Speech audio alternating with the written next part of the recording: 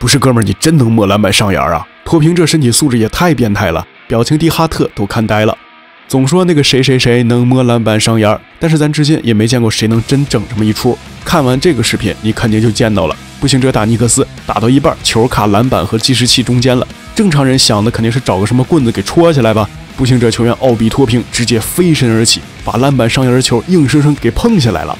尼克斯球员约什哈特在社交媒体转发了这个瞬间，并且评价道：“哥们儿，你太野了。”所以奥比托平这哥们儿什么来路啊？二零年首轮的八号秀，碰巧选他的是纽约尼克斯。二零二二年，这哥们儿拿了扣篮大赛冠军。二零二三年被尼克斯送到了步行者。反正你要看他的数据，肯定是平平无奇，职业生涯大概是八加三左右的水准。但是这哥们儿身体素质是真的好，进攻技术也非常全面。小时候啊是打后卫出身的。反正看了他摸篮板这一下呀，我建议大家集体联名上书 NBA，强烈要求他再来一次扣篮大赛。